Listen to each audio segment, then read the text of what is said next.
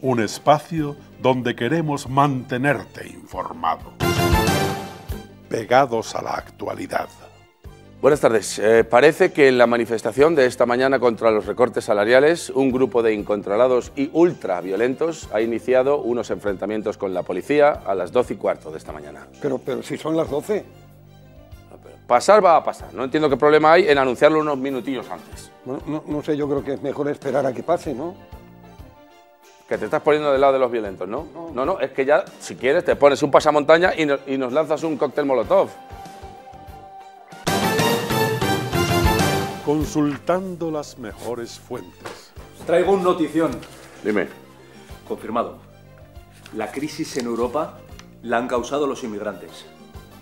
¿Cuál es tu fuente? Antes en el súper se lo he oído decir a un par de señoras en congelados. Vamos a ver, eso no es un notición. No, no, no. Eso es un rumor. Y contrastando la noticia. Que no, que no, que no, que también se lo he escuchado a un par de jubilados en la sección de charcutería. Gente, preparamos plató que tenemos una exclusiva.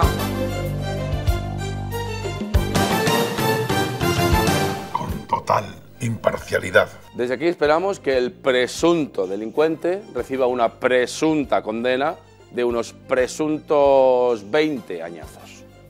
Para que se vaya enterando. Presuntamente. Esforzándonos por conseguir la información que buscas. Demasiado radical, ya. Vale, vale, vale.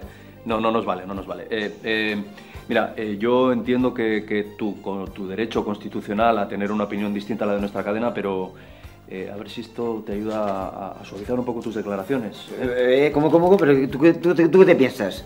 ¿Eh? ¿Qué te piensas? Na- 50 ni por euros. 50 ni por 100. Bueno, vale, vale, pues ni para ti ni para mí, joder. Coño, 150. ¿Y te invito a unas copillas? Eh, vete ya por ahí. Evitando las barreras para personas con problemas de audición.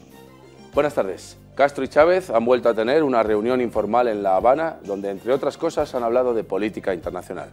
Noti News, la única verdad al alcance de todos.